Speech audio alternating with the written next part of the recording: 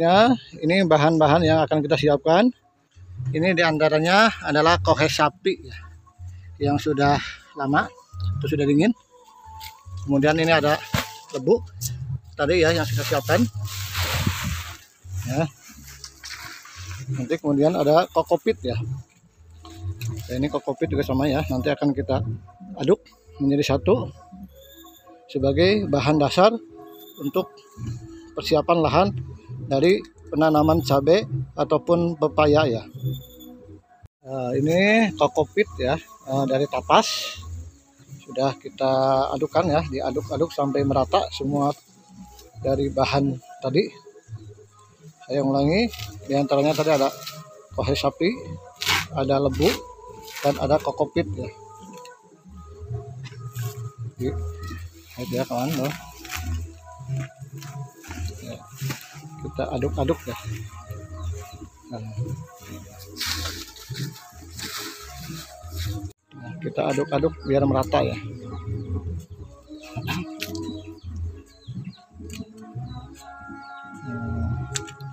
kita ratakan satu persatu biar ini sebagai salah satu bahan ya untuk pupuk dasar ya. Nah, diaduk-aduk sampai merata ya. ya ini tuh sudah warna uh, hitam ya. Ini menandakan subur sebagai pupuk dasar untuk penanaman cabai maupun dari pepaya California ya. Kita masukkan untuk siap ditabur di lahan kita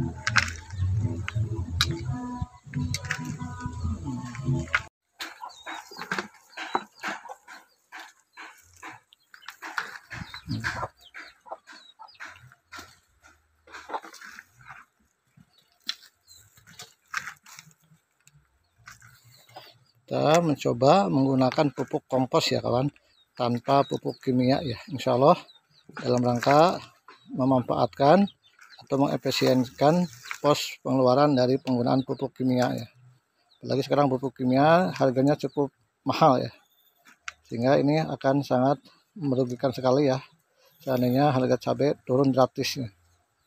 jadi solusinya yaitu kita menggunakan pupuk kompos atau pupuk yang kita buat sendiri lah karena ini pemanfaatkan dari limbah daun-daunan yang kita bakar diambil abunya ya oke ya.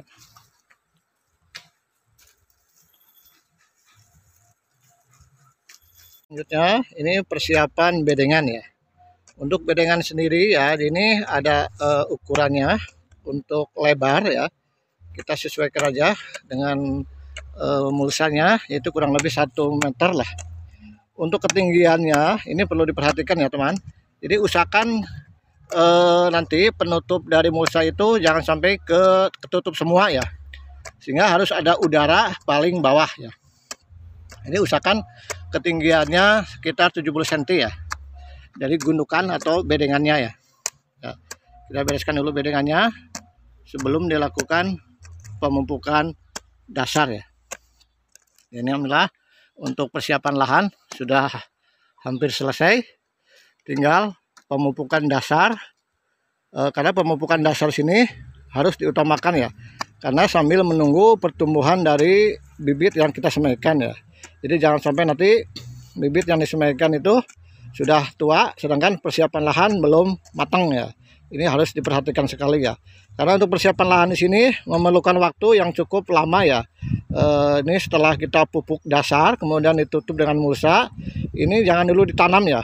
Minimal 15 hari ya teman baru bisa dilakukan penanaman ya. Maka dari itu ini harus benar-benar diperhitungkan ya waktunya. Oke ya teman tuh. Jadi uh, sambil dipupuk dasar kemudian ditutup lagi dengan tanah ya supaya uh, kondisi dari bedengan tinggi ya. Sehingga nanti untuk penutupan mulsa itu akan tersisa paling bawah ya karena perlu udara juga di bawah ya jadi jangan jangan sampai tertutup semua oleh mulsa ya. Ini pupuk dasar yang sudah kita siapkan. Tadi campuran dari beberapa unsur. Di antaranya ada uh, kohe sapi yang sudah difermentasi. Kemudian ada abu dan ada kokopit juga ya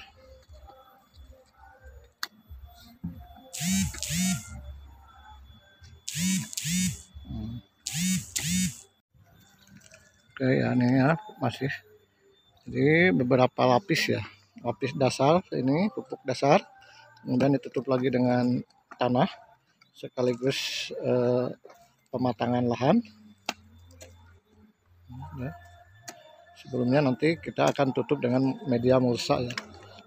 Supaya menjaga kelembaban dari eh, tanah tersebut ya.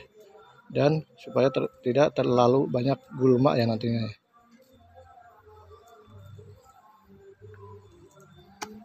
Hmm. Insya Allah ini uh, lahan persiapan sembari menunggu uh, cabai itu tumbuh ya yang sudah semaikan. Hmm.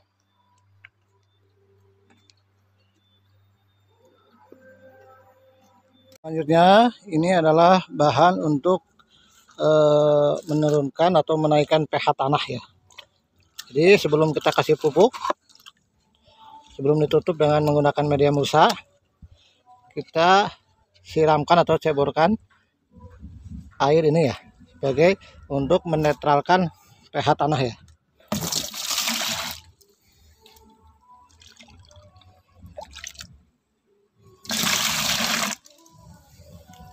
Ini adalah campuran dari beberapa unsur yang sudah difermentasi kurang lebih sekitar satu bulannya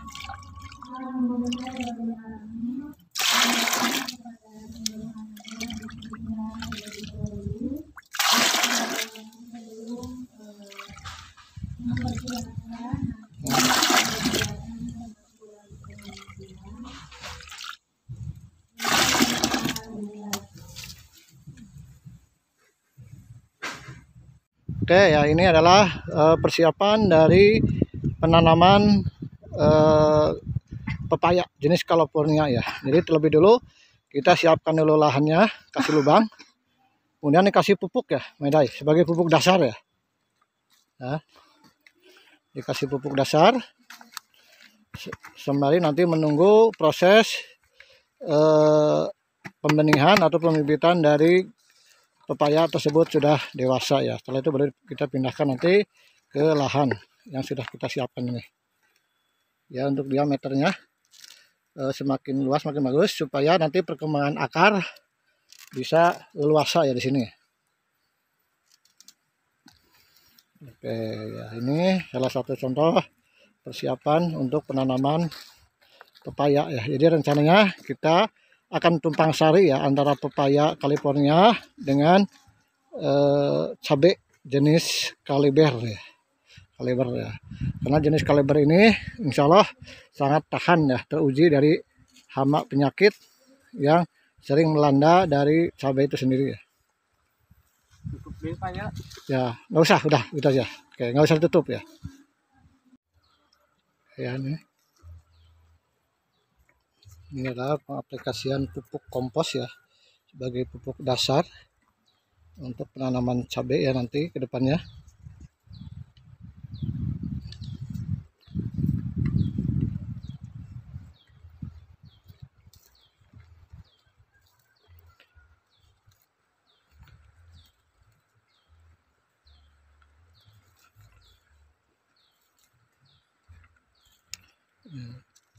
Setelah itu kita tutup dengan tanah lagi dan dikasih air ya sekaligus pupuk organik cair juga ya.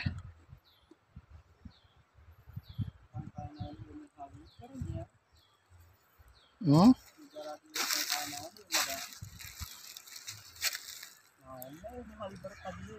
Uh, iya ya tuh apa tuh? Ya uh, eh, MS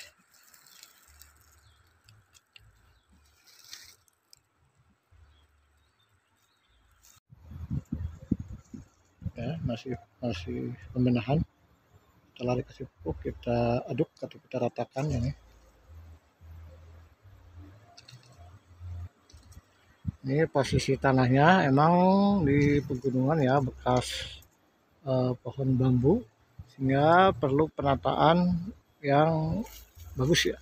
Itu sengketan-sengketan ya supaya tidak terjadi longsor ya kawan.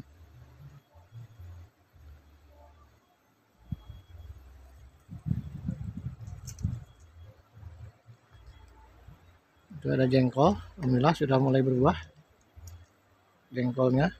Kemudian juga ada petai, kita siapkan tanam petai dan durian.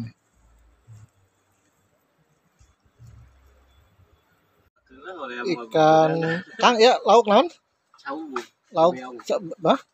Bebeong, caung, uh, citanduy ya. Ini ikan citanduy ya, mantap ya. Hasil mancing. Mancing di citanduy. Ini ikan bukan sembarangan ikan ya. Eh, ini asli dari citanduy ya. Oke. ya. Ini situasinya cukup panas ya.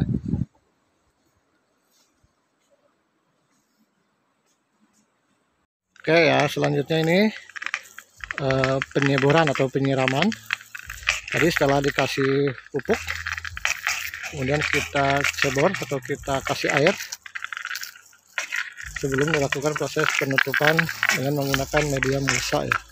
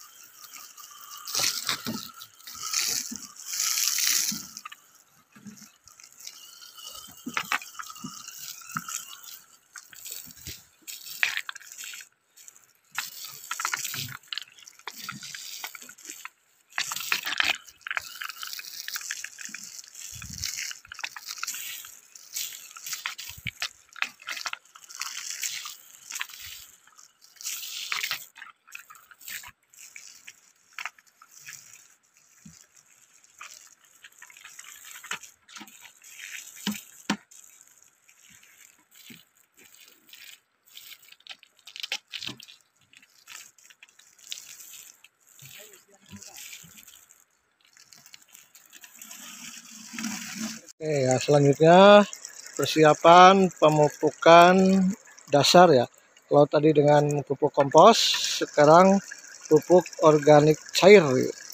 Yaitu perpaduan dari beberapa unsur seperti air cucian beras, kemudian ada air urin ya, urin kelinci, kemudian ada juga air keras ya di sini. Ini bahan semuanya disatukan, kemudian nanti kita semprotkan ke lahan. Sebelum nanti ditutup dengan menggunakan media mulsa sekaligus fermentasi dasar ya, fermentasi awal ya.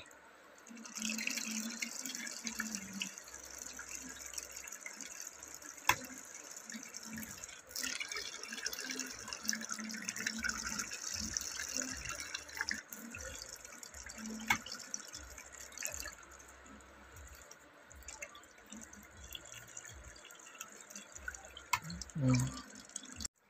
Selanjutnya diaduk-aduk ya, sampai merata ya. Ini air yang sudah berubah warna. Perpaduan antara beberapa unsur untuk eh, sebagai pupuk dasar ya. Dan kita masukkan ke kompan yang sudah disiapkan.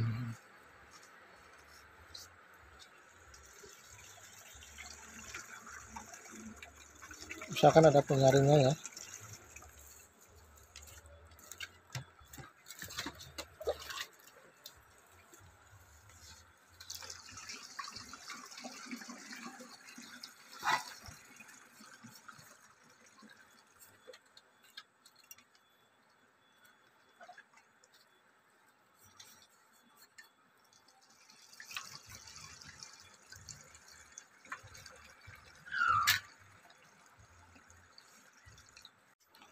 Lihat ini karena alatnya manual jadi dipompa dulu ya Hah?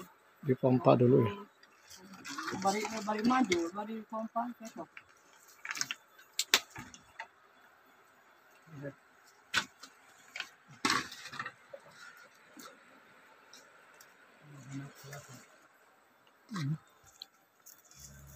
Joking ta.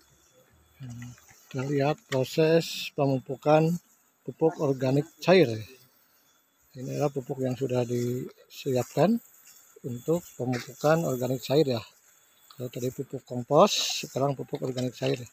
Sampai merata ya ada ya.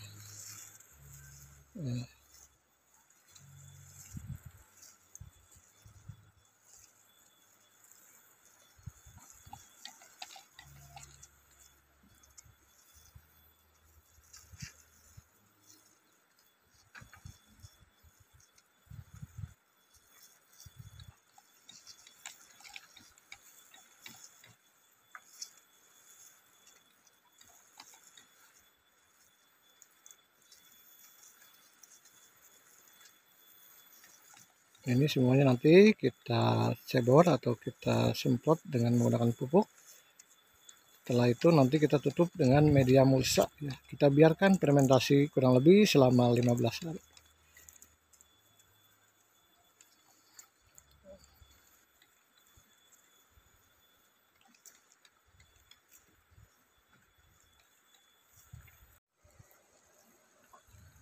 untuk lebih cepat ya bisa menggunakan alat sederhana ya nggak usah pakai alat semprot juga bisa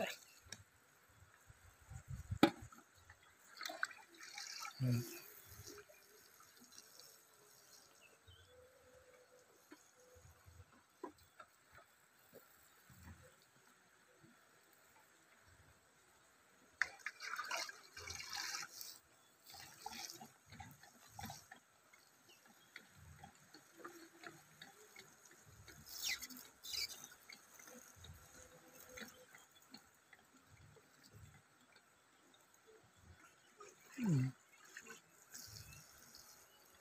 Mengganti alat semprot dengan menggunakan alat tradisional ya. Lebih cepat lebih praktis lebih murah ya. Samping ini kita tetap ya menggunakan alat semprot ini. Kita bantu biar cepat prosesnya. Karena ini masih cukup luas ya lahan yang harus kita selesaikan. Ya selanjutnya eh, pemasangan mulsa ya kawan ini untuk pemasangan mulsa ya. Eh, maaf, maaf nih jangan sampai kebalik. Jadi yang warna hitam posisinya di bawah ya. Yang warna ini pak eh, perak di atas. Jadi dibalik ya. Ini kita sekarang mulai pemasangan.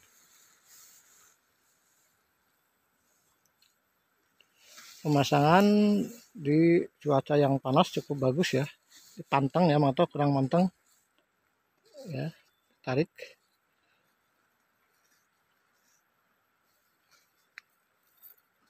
Ya, nanti penarikannya sekaligus pemasangan eh, smart ya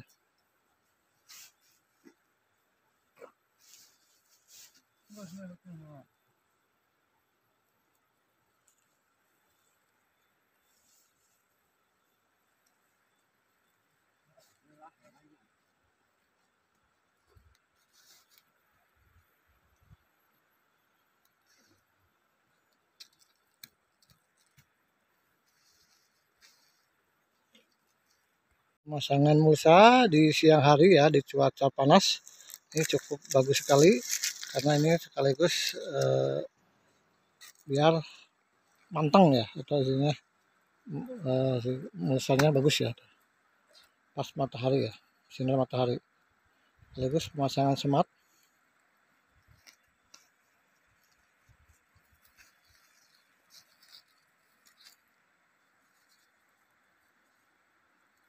ya ini untuk mulsa ini kita sekaligus melakukan proses fermentasi juga ya.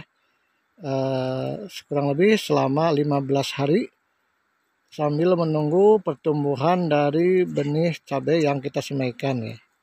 Jadi kita persiapan lahan ini harus semaksimal mungkin karena ini proses fermentasi ini semakin lama semakin bagus ya. Jadi jangan terlalu buru-buru nanti di eh, tanam ya cabenya ya. Karena kondisinya masih panas ya. Setelah 15 hari atau 20 hari ya nanti baru kita kasih lubang ya. Jadi ini jangan dulu dikasih lubang. Biarkan dulu fermentasi sampai normal ya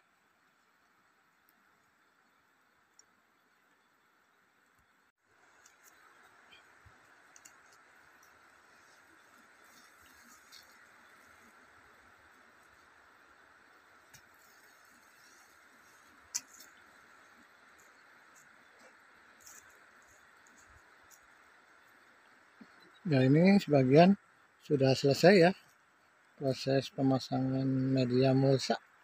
Karena uh, fungsi dari penan, uh, pemakaian media mulsa ini yang pertama adalah untuk mengurangi pertumbuhan gulma ya kawan. Jadi gulmanya tidak terlalu banyak nanti. Kemudian kedua adalah untuk mengamankan pupuk supaya tidak terbawa oleh uh, air di saat hujan deras. Jadi cukup terlindungi lah istilahnya itulah salah satu manfaat dari penggunaan uh, media mulsa ya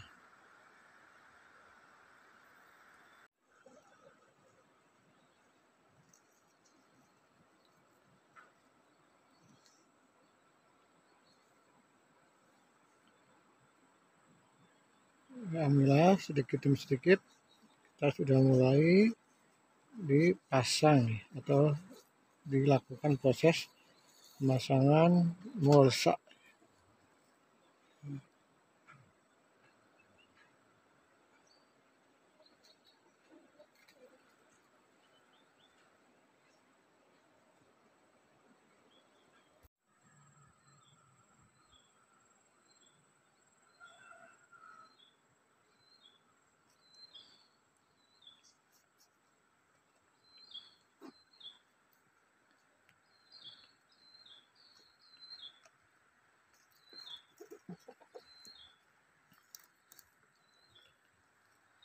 ini ya, ya. untuk proses pemasangan. Mulsa masih dalam proses. Baru beberapa bagian aja yang selesai. Insya Allah kita akan lanjut lagi besok hari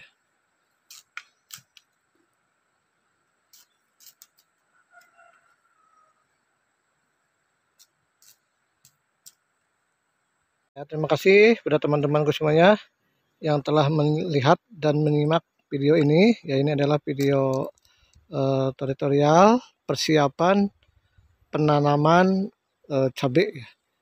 dengan menggunakan media mulsa ya. Tadi tahapan-tahapan sudah saya jelaskan.